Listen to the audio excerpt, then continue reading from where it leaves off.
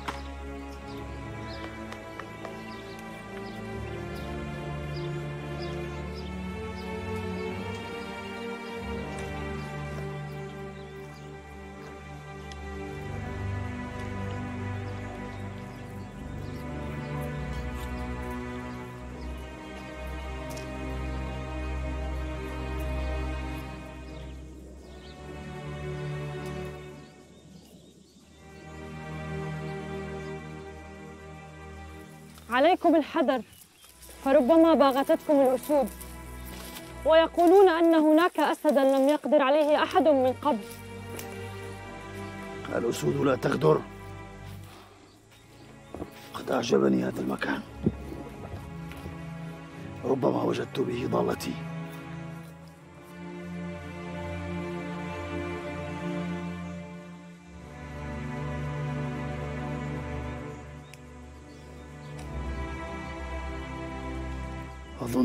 तकरीबन में होना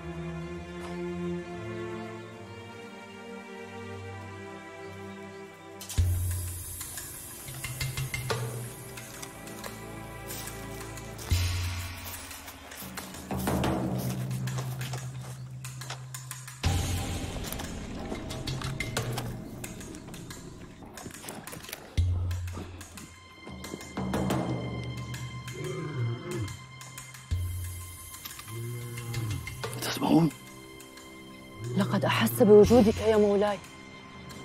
وها هو يطلبك للمنازلة ولم أهرب من مواجهة في حياتي.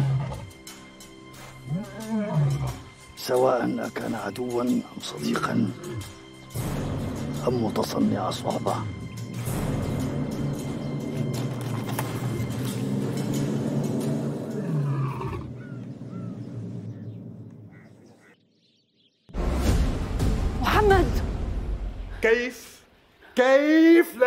لا يوليني بغداد. ها؟ ولا حتى القصر. غيابه ليومين فقط. لقد ترك كل شيء بيدي البرمكي وأنا أنا ولي عهده وأنا من يجب أن يقوم مقامه إذا ما غاب. بني أبوك يعرف ماذا يفعل.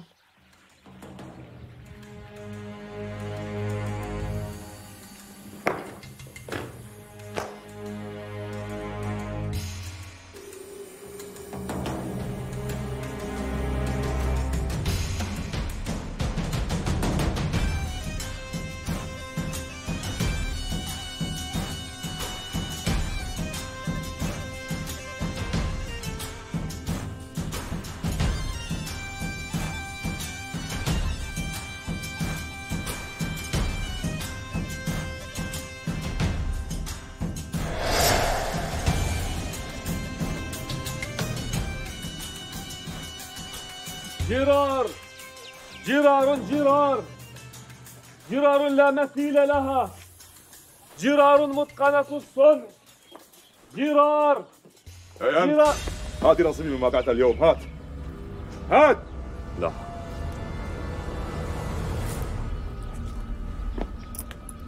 هكذا أريدك دائما. تنفذ ما يطلب منك دون اعتراض. وإياك. إياك أن تقترب مما يغضبني.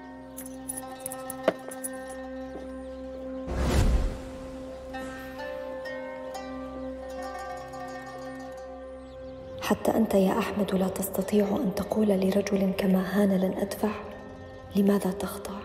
ما الذي ينقصك حتى تدافع عن حقك؟ أي رجل أنت؟ أي رجل؟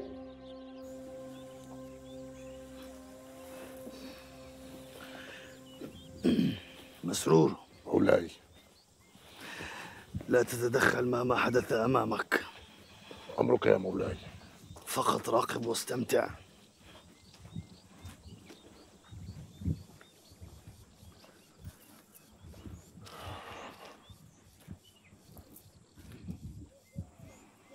النفس تطمع والأسباب عاجزة يا رباب كل ما فعلتيه حتى الآن لم يقنعني بأنك الدليل. من أنت؟ وماذا تريدين؟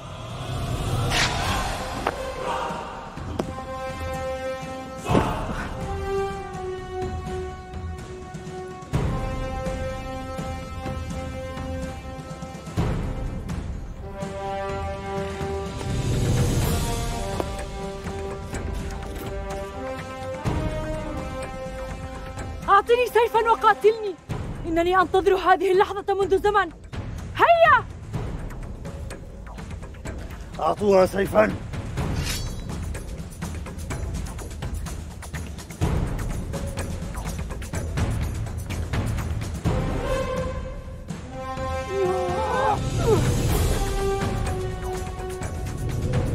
لا أريد أن أقتلك أريد أن أعرف من أنت.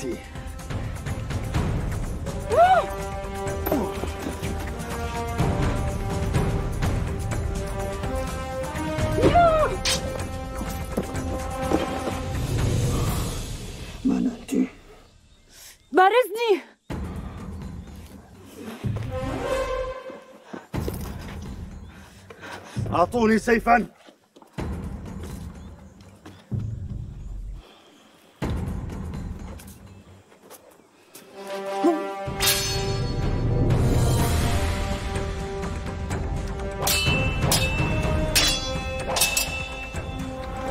لم تقولي لي من أنت.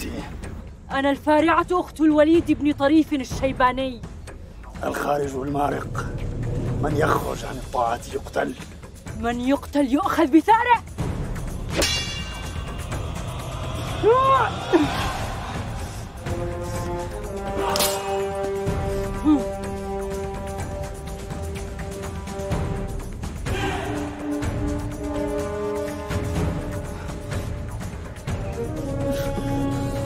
ما زال فيك رمق للقتال.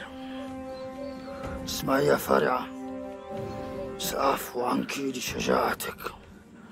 سمعتي؟ انصرفي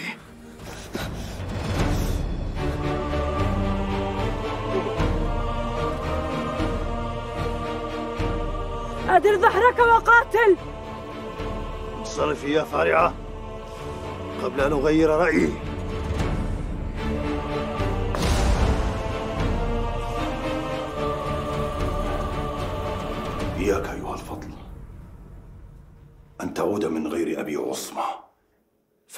كفيل بإشعال غضب الرشيد علينا. لا يا أبي لن أعود إلا وهو معي حيا أو ميتا. حيا حيا أيها الفضل. فهذا ما أمرنا به أمير المؤمنين. وأنا أيضا أريده حيا فبيننا حساب يجب أن نصفيه هيا سر على بركة الله. واحرص على حياتك. لك ما تريد يا أبي.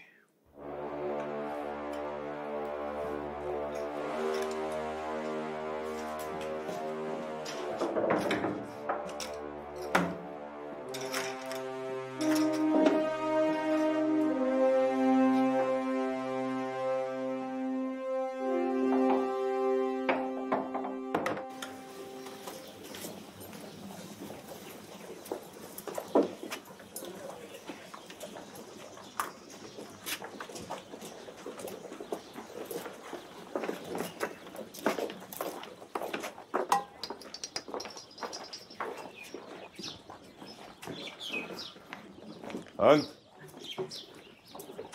ماذا تفعل هنا؟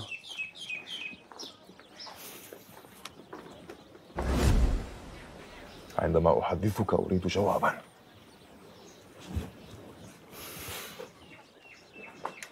اسمع يا مهان. أنا رجل جاء إلى هنا ليبحث عن رزقه ولا أريد المشاكل لا معك ولا مع غيرك. وحتى لا تقع في المشاكل.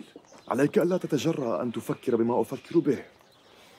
سيرين حلم صعب المنال. إياك أن تفكر في الاقتراب منها. وإلا سحقتك. ليس لك الحق أن تتحدث عن شيء لا يخصك. أمر سيرين يخصها وحدها. لا تتدخل به. اسمع. يبدو أنك لا تعرفني بعد. أنا إن أردت شيئا أخذته بالقوة. لست أنا من يخسر شيئا يريده.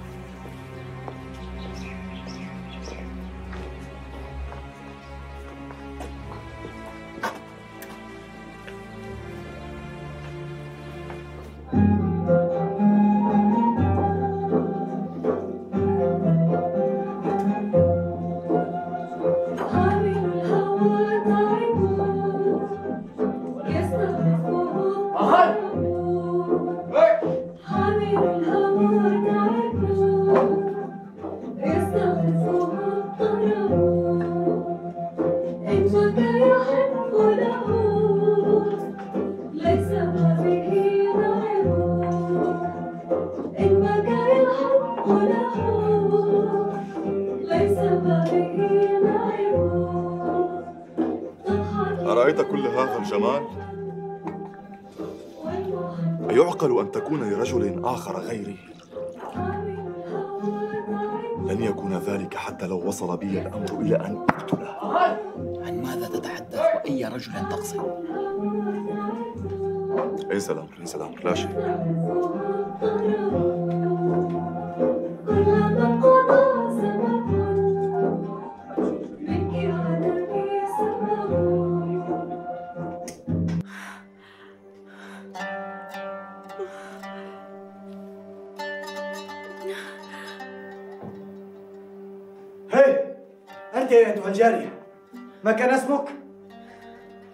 لماذا أتيت إلى هنا ولم تنتهي من عملك بعد؟ ولم تنظفي جيدا؟ لقد تعبت ولم أعد أقوى على العمل. تتمرضين أيتها الجارية. إني متعبة حقا. اسمعي أيتها الجارية. إذا لم تنجزي عملك بشكل جيد سوف أشكوك إلى سيدتي خنساء وهي سوف تتصرف معك.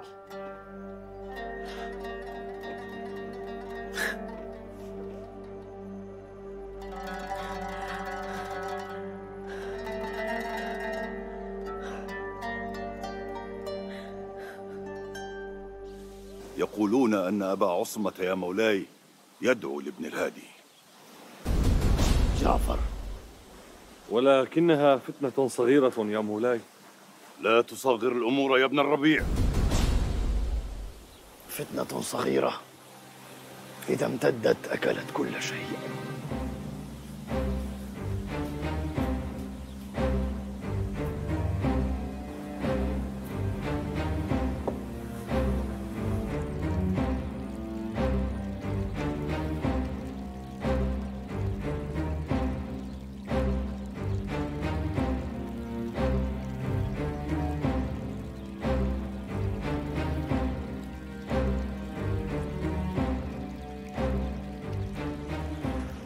علي في البصرة وأنت هنا. أنا يا مولاي قائد الهادي أبو عصمة يدعو لك بالبيعة في البصرة. أقسم يا مولاي إنه لا علم لي بذلك. جعفر لا تقسم. لا أفعلها يا عماه كيف أفعلها وأنا هنا في قصر وقريب منك؟ مسرور! قريب من سيفي أيضا. مولاي. أنا ابن أخيك. ولن أفعل ما لا يرضيك. صدقني يا عماه. ليس لي علم بما فعله أبو عثمان ليس جعفر من يخون لحمه ودمه. أنا لن أعاقب أحدا على ذنب لم يرتكبه. اجلس.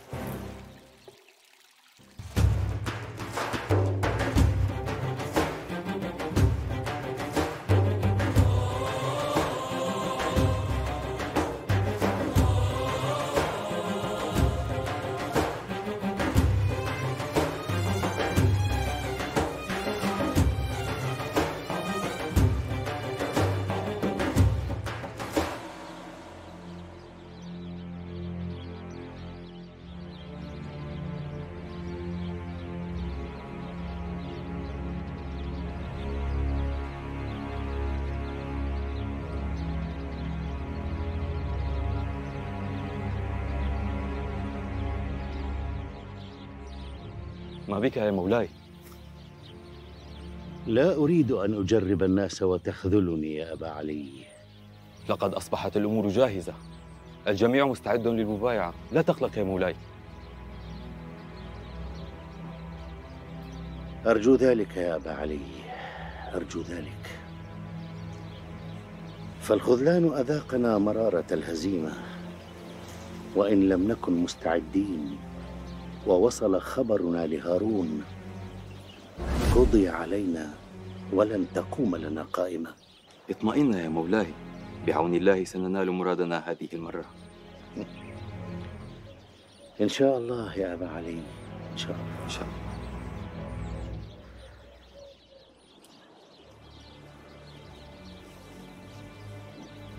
هيا استعدوا للتحرك.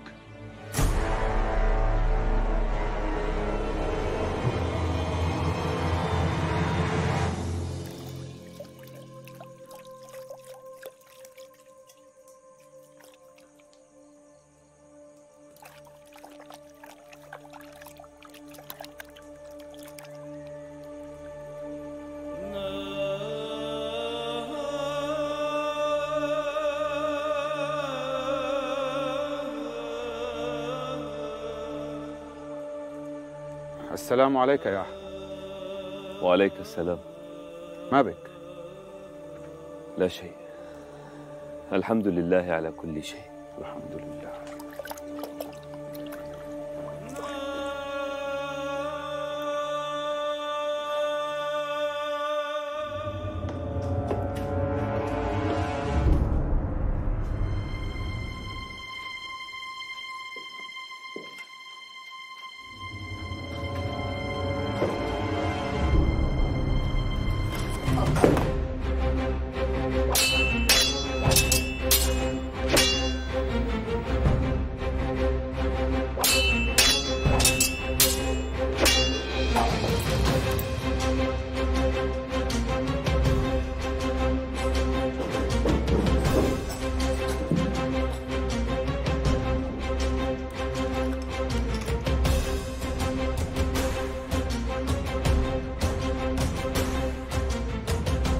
هذا مصير الذي يخرج على الخلافة.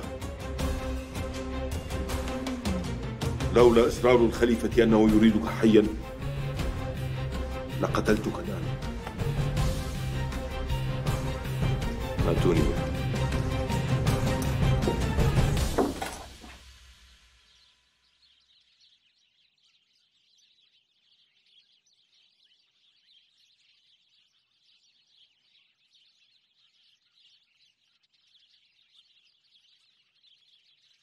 السلام عليك يا أمة.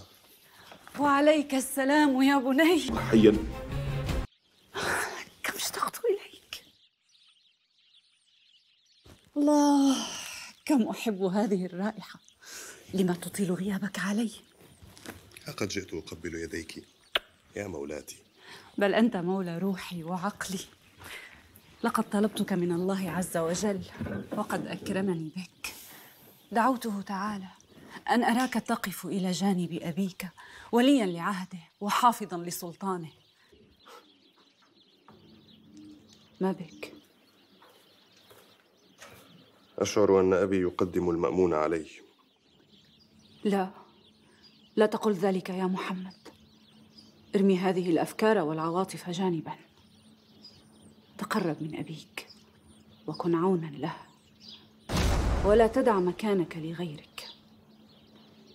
إذا ما تقاعست عن ذلك ستجد حينها من يحل مكانك. أنت ولي العهد ولي عهد دولة بني العباس. ولي عهد دولة بني العباس بالاسم فقط. فأبي لا يوليني أي اهتمام. دع عنك هذه الأوهام يا بني ولا تكن أسيرا لها حتى لا يأتي يوم تجد فيه مكانك وقد انتزع منك.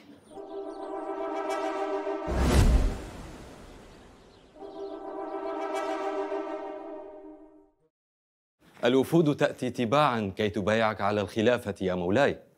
ليتفضلوا يا أبا علي. تفضلوا. السلام عليكم. وعليكم السلام ورحمة الله وبركاته. تفضلوا تفضلوا. إنه ليس بفضلي يا إخوة الإيمان. إنه إرث الآباء والأجداد. ولنا وقع في نفوس الناس والحمد لله. لقد كانت دعوتنا دعوة جدي رسول الله صلى الله عليه وسلم. صلى الله عليه وسلم. ودعوة أبناء علي بن أبي طالب الهاشمي القرشي. وأظن يا مولاي أن الناس ستأتيك من كل مكان وكل مصر.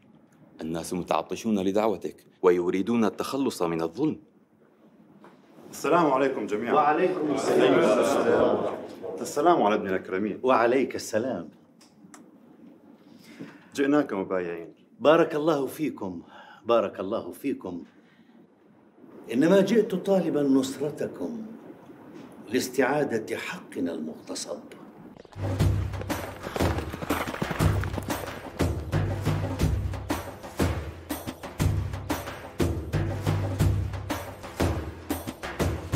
لا يا مولاي. لم تصل الدعوة إلى الكوفة. الحمد لله. لقد كفانا الله الكوفة. إن أبا عصمة يا مولاي قد أصيب بعقله فليس من عاقل يقوم بفعلته وهو على مرمى حجر من حاضرة الخلافة. إن مطامع الحكم تفعل فعلها في العقول. فإذا ما أخذت شهوة السلطة من امرئ فإنها تعمي عقله قبل عينيه. وتظن الناس أن الخلافة من صنع البشر إنها إرادة الله في خلقه.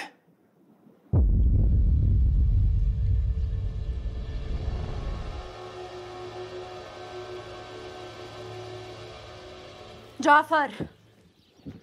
إياك أن تكون قد ناصرت أبا عصمة على عمك رشيد. لا يا عمتي لا. أقسم أنه لا علم لي بما يجري كما أنني خائف من عمي الرشيد لا تخف إن لم تكن مذنبا فعمك الرشيد لن يعاقبك.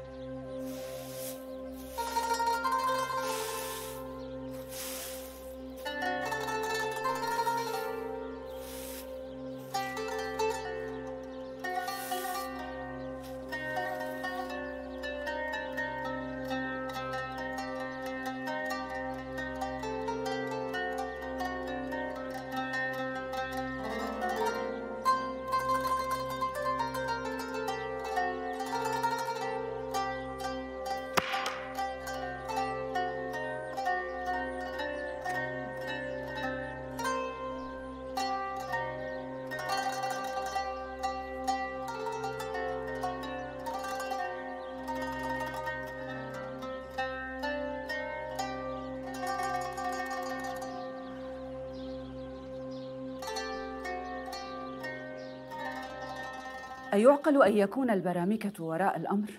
يقلبون جعفرا على الرشيد. ليفعلوا ما يشاءون يا ابنتي. كيف يا عماه؟ فهم يديرون شؤون الدولة وبيدهم كل شيء وها هم يستقون بعبد الله المأمون. عبد الله المأمون بن الرشيد. لن يضل عن طريق أبيه وهو ولي عهد ابنك الأمين. إن بقوا على هذه الحال. فسيوقعون الفتنة بين الإخوة. والمأمون جمر تحت الرماد. يقلبونه متى يشاءون. لا تنسي أمير المؤمنين هارون الرشيد الذي بيده الحل والربط. إنه يثق بهم. طالما هم أهل للثقة فإذا خانوه اقتص منهم.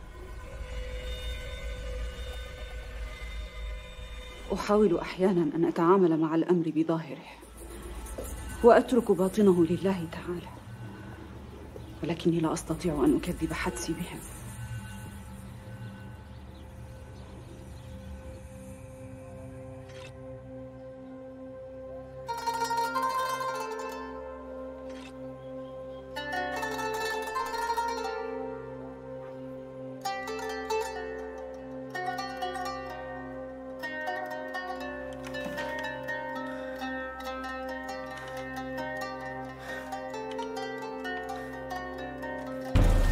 جرار جرار. جرار. جرار متقنة الصنع. جرار من أفضل الأنواع. جرار. جرار يا سيدتي جرار. جرار جرار. جرار. هل أنت الرجل الذي طالما حلمت به؟ هل خلاصي مما أنا فيه سيكون على يديك؟ فالفراغ الذي أعيش حبل يخنقني. فعل شيئا يا أحمد سوى النداء على جرارك.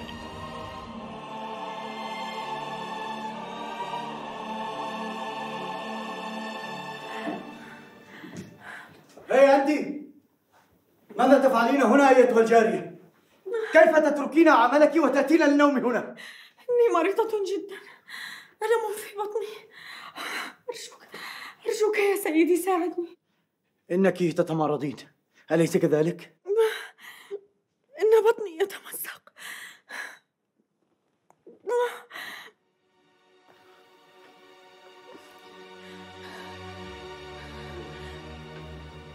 إنك مصابة بالحمى. إنك ترتعدين منها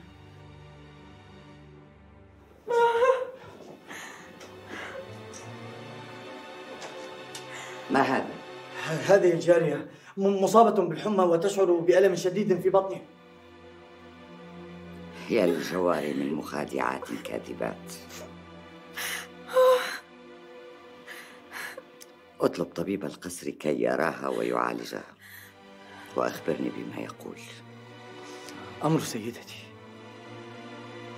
إن كانت حيلة منها فسترى مني العجب. سأجلب لك الطبيب فورا. لا تقلقي.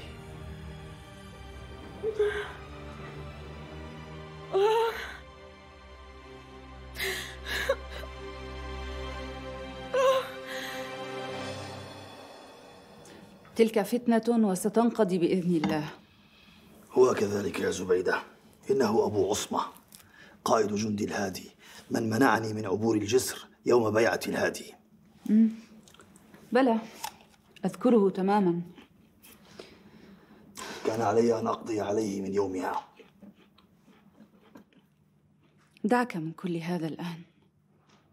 إننا نشتاق إليك يا هارون. لقد أطلت الغياب علينا. إنها مشاغل الحكم يا زبيدة. ويجب أن أذهب. ولكن شوقنا إليك أقوى من كل شيء. وكل يوم يزيد.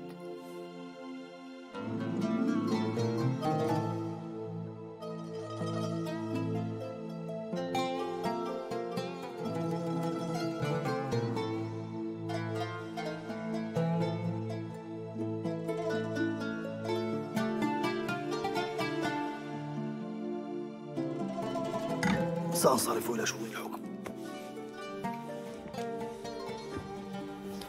أنتظرك الليلة يا مولاي؟ إن شاء الله.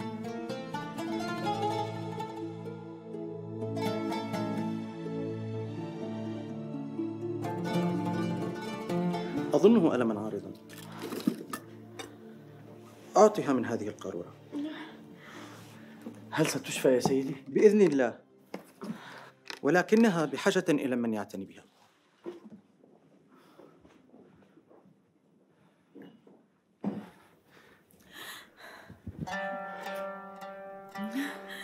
هيا يا ضياء. هيا هيا هيا هيا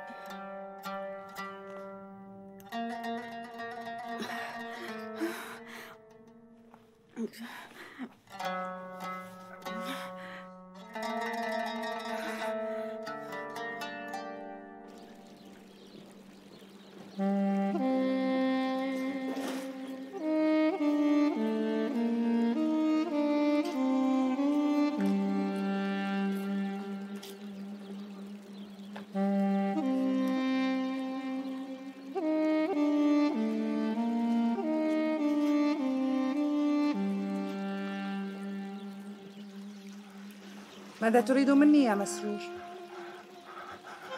إياك أن تقول لي أحبك أحبك أحبك أحبك أحبك وماذا بعد يا مسرور؟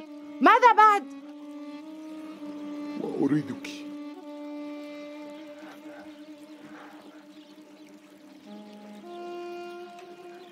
قلبي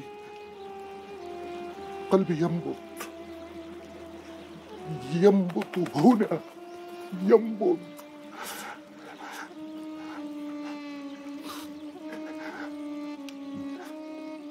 مهدية. مهدية! أحبك.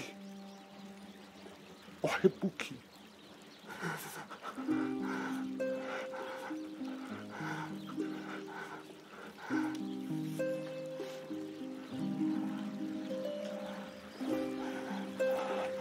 أراك في الحديقة يا مسرور. ما ما ماذا؟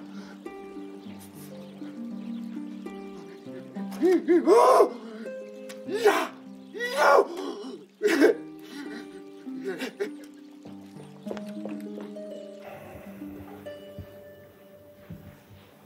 أتمنى أن ينجح الفضل في مهمته.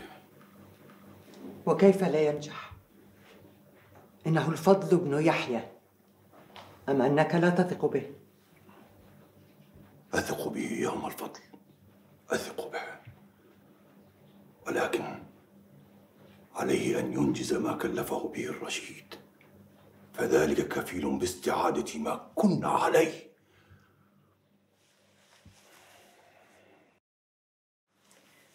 أنت تعلم أن لا أحد يساعده غيرنا.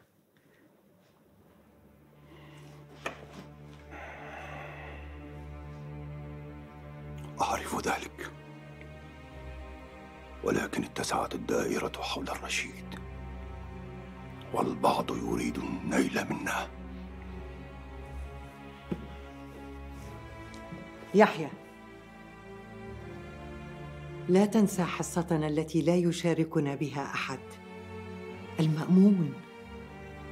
عن أي حصة تتكلمين يا أم الفضل؟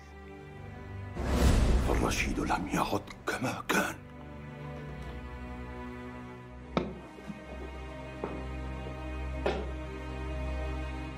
قلت لمسرور أنه بلا قلب. ألم تخافي أن يجرد سيفه ويقطع رأسك فيدحرجه أمامك كما يفعل عادة؟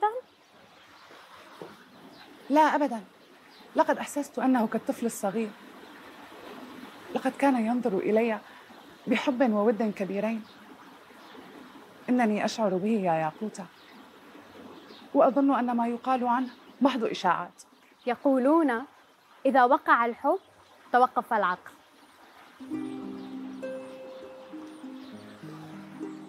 لا شيء عندي لأخسره يا ياقوتة وسأرى ما يريده مني.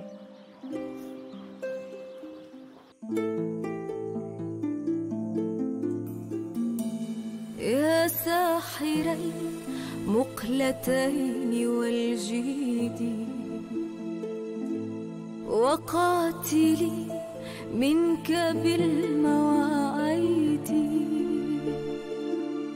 توعدني الوصل ثم تخلفني. ويلاي من خلفك موعودي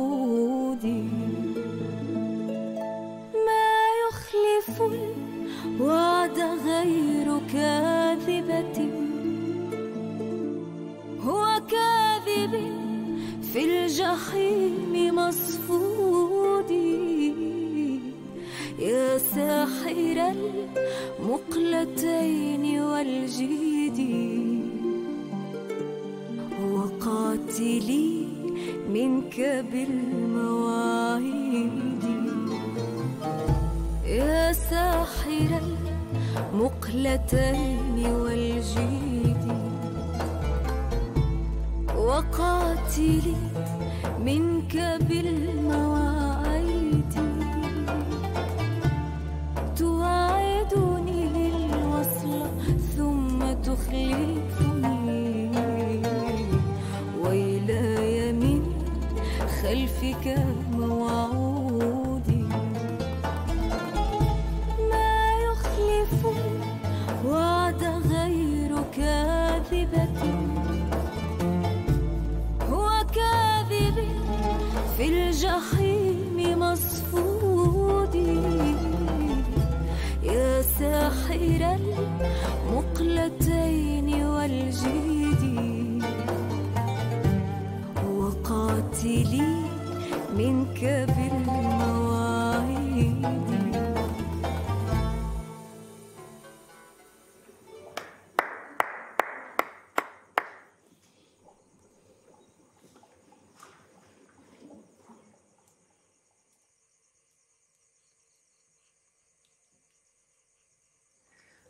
مولاي.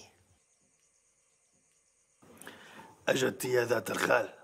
أجدت يسعدني أنك سررت بغناء هذا يا مولاي. فسماع كلماتك هذه أثمن بكثير من ارتداء الجواهر